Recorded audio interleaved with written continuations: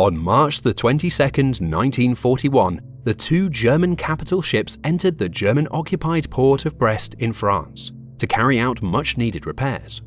These two ships had just come back from Operation Berlin, during which they sank 22 Allied merchant vessels in just two months, making the mission a great success. The presence of these two capital ships in the port posed a serious threat to the merchant convoy passing through the Atlantic sea route. Both of these were battle cruisers, the Scharnhorst and her sister ship, the Gneisenau. Both ships weighed around 32,000 tons, had a top speed of 32 knots, and were equipped with nine 11-inch guns.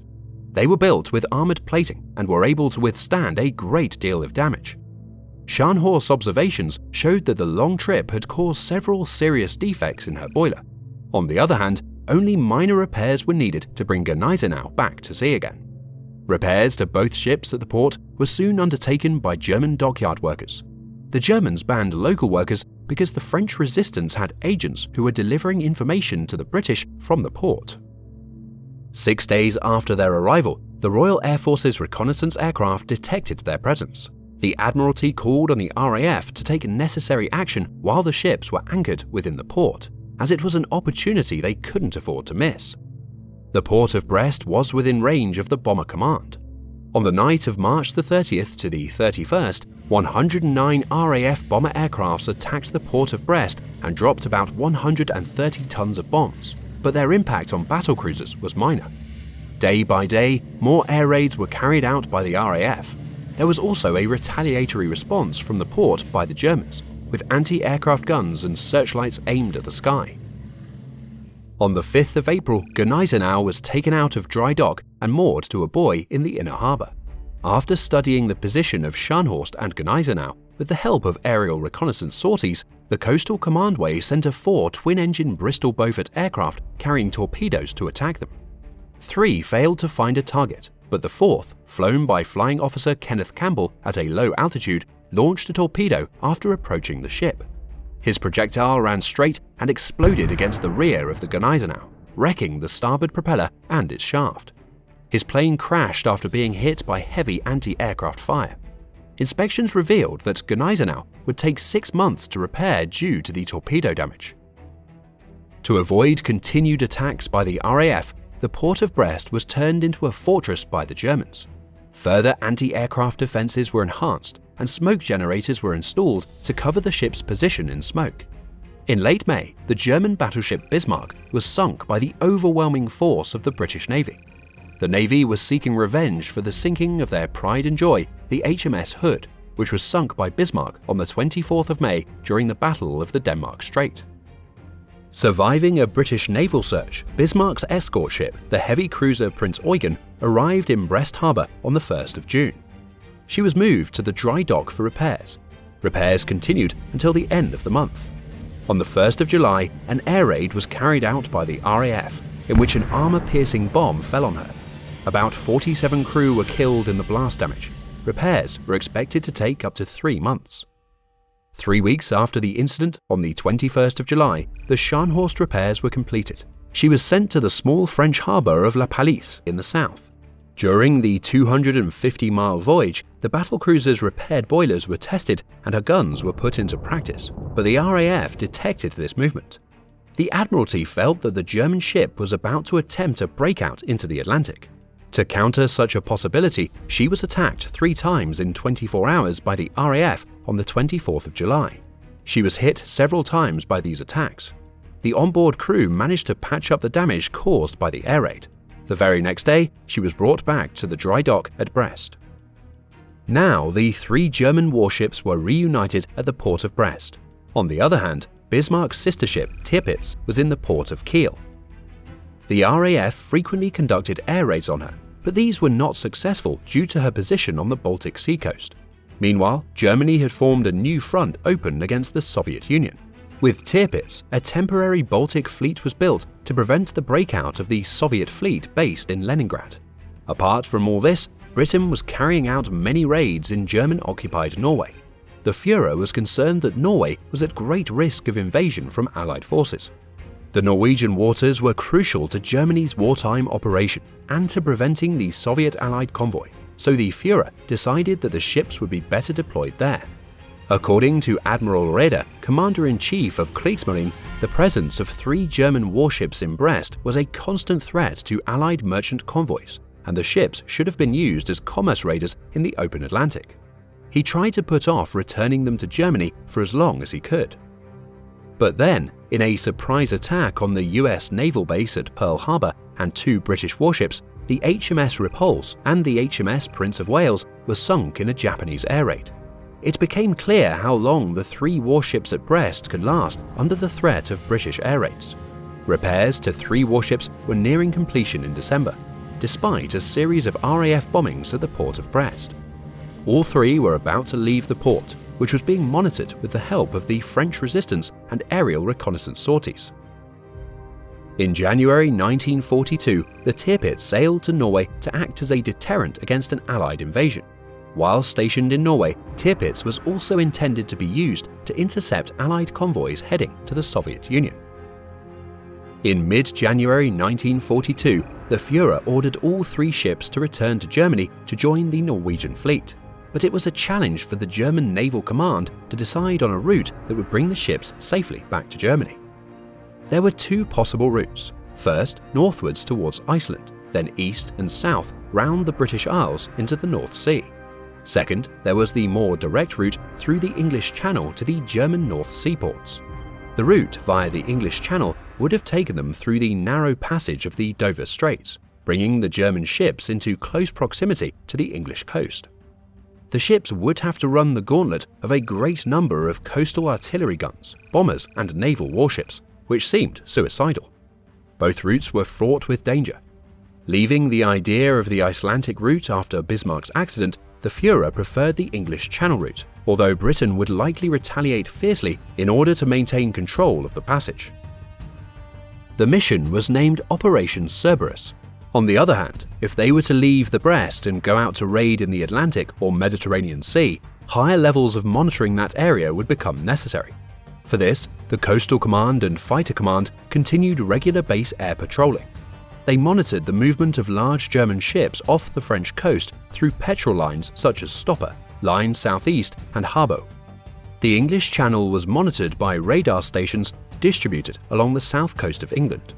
Operation Fuller was launched by the British to deal with the situation if German warships passed through the English Channel.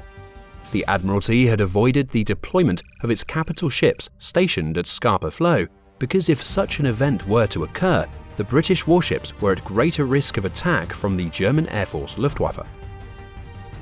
All three warships were now ready for the next mission after completing their repairs in Brest in early February 1942.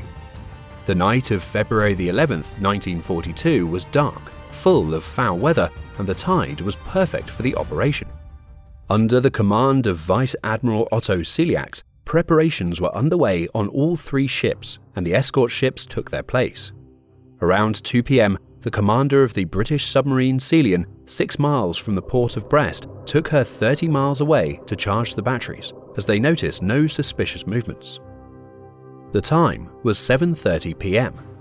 Under the command of Ciliax, the battle fleet began to cast off from their mooring stations, but at the same time, the air raid sirens sounded, the RAF's bomber planes arrived to bomb the port.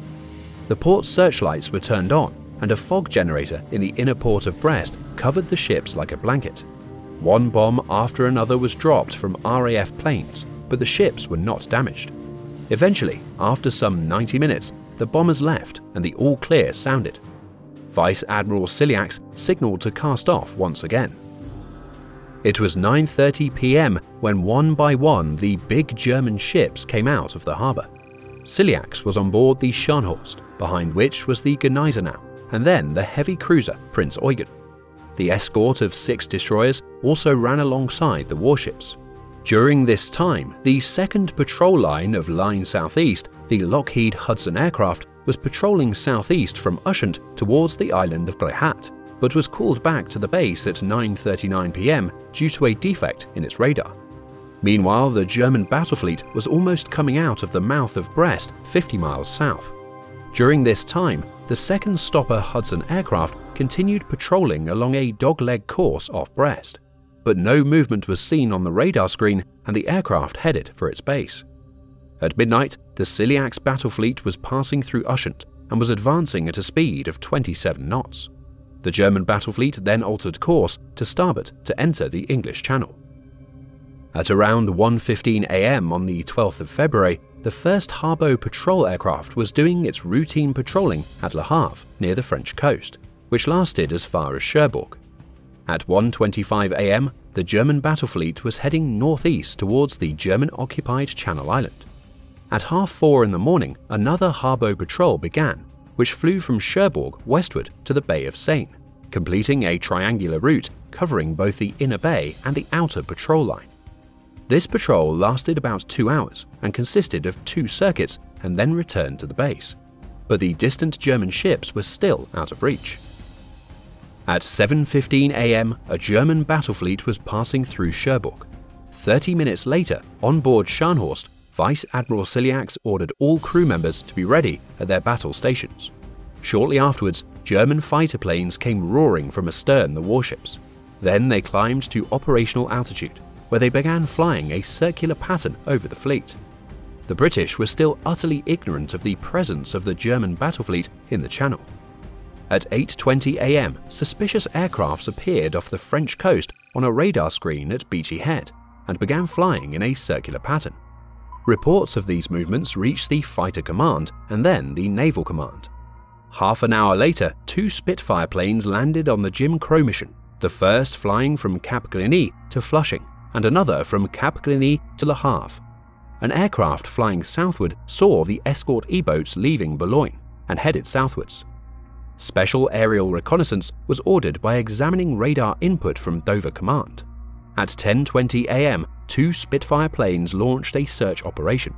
The pilot of the Spitfire plane saw two lines of E-boats with a total of nine crafts, heading east along the channel. But due to the special reconnaissance mission by maintaining the radio silence, it was still too late for this information to reach the base. During this time, two other Spitfire planes were also flying south from Boulogne. They saw a German battle fleet five miles off the coast of Le Touquet at 10.40 am but they retreated immediately as they were attacked by the German fighter planes. Both planes returned to Kenley Airfield while maintaining complete radio silence. The German fleet was now heading safely towards Dover. Information about the input on the radar screen during the time of 11.05 am and accurate information obtained with the help of aerial reconnaissance had now reached the British Command Centre. The ships were recognised as being hostile. Operation Fuller was now in action. Fighter, coastal, and bomber commands were kept on high alert, and information on the position and speed of ships was provided to the command center. Vice Admiral Ramsay was in command of the operation at Dover headquarters. He immediately ordered the motor torpedo boats and slow swordfish planes equipped with torpedoes to attack. The German battle fleet was now passing through the Cap Gris-Nez. The four 9.2 inch guns located on South Foreland were more effective in reaching the German ships that were soon to pass through the Strait of Dover. The positions of the German ships obtained from British radar was reported to coastal artillery guns. At 12.19 pm, South Foreland batteries began firing on German ships, but the fired shells were falling about a mile astern of the German escort ship. At 12.23 pm, the British motor torpedo boats were heading towards the battle fleet. They tried to break through the E-boat screen, which brought them under intensive fire but most of them could not penetrate the shield of the E-boat. One torpedo after another was released from the MTBs. Despite relentless efforts from MTBs, these torpedoes did not successfully hit any of their targets. However, the response from the Germans heavily damaged the motor torpedo boats. During the attack by the Dover MTBs, the German defenders on the ships and in the air were distracted by the arrival of British Swordfish torpedo planes from the 825 Squadron Fleet Air Arm. German ships, meanwhile, were advancing 12 miles from Calais and at a speed of 30 knots. Not all of the Swordfish aircraft survived the German ship's heavy attack. The last round was fired by the coastal artillery gun as the German fleet sailed out of reach. Vice Admiral Ciliax's ships had run the gauntlet of 33 rounds from the British heavy guns and had remained intact. Three more motor torpedo boats from Ramsgate failed to make contact with the German heavy units. The main part of the German battle squadron had passed ahead of it to the northeast. Attacks by the British, including coastal guns, MTBs, fighter aircraft and torpedo bombers, failed to cause further damage to German ships. The battle fleet was now steaming towards the North Sea. At about 2.32 pm, the Scharnhorst was hit by a British mounted minefield. Scharnhorst was completely halted due to the violent explosion on her starboard side. But following the mission, both Gneisenau and Prinz Eugen passed her and began to move forward. Ciliax left his flagship aboard Scharnhorst and was transferred to destroyer Z-29. Efforts were being made by the onboard crew to bring Scharnhorst back into service. Her boiler was fixed around 3 pm, but by that point, the main body was 17 miles away from her. RAF bombers attacked the main fleet at around 3.45 pm. Over 240 Beaufort, Manchester, and Wellington bombers had been sent to find the fleet. The Manchesters and Wellingtons struggle with the low clouds and fighter escorts and failed to hit any targets. The German ships were found at a time when a full-scale dogfight between the RAF and the Luftwaffe was going on overhead. A few of the Beauforts managed to attack despite very poor visibility and a high number of enemy fighters. The Beauforts struggled to find their targets and were also harassed by the Luftwaffe. They also came under heavy fire from the German body's anti-aircraft guns. Shortly afterwards, five British destroyers were advancing towards the German battle fleet. They approached the German destroyer escort and fired.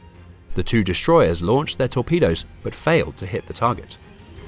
Another destroyer, Worcester, approached the battle fleet and launched its torpedo at a range of about 4,000 yards. By then, the German ships were taking evasive action.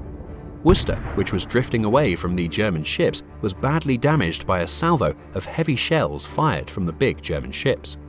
Two other destroyers attacked the heavy German cruiser Prinz Eugen, launching a torpedo in the range of between 4,000 and 3,000 yards, but they also missed their target. The German ships suffered no significant damage from the British destroyer's attack. At 6.10 pm as the evening fell, the RAF called back the last of the 242 bombers, signalling the failure of Operation Fuller. The German ships had escaped their pursuers, Gneisenau and Prinz Eugen, both now far from each other due to poor visibility, continued independently. At 6.32 pm, the ships reached the channel of Texel in the Frisian Islands and began to travel northeast. The ships were due to pass through the Dutch coast, but the mines laid by the RAF posed a great danger. At 7.55 pm, the Gneisenau succumbed to an underwater explosion off the Dutch island of Terschelling. One of the engines stopped immediately after the blast, it took about 30 minutes to repair the ship. Prinz Eugen, who was behind her, managed to escape from the minefield without issue. At 9.35 pm, off the same island of Terschelling, misfortune again struck the Scharnhorst. The ship hit another mine and was once more rendered dead in the water.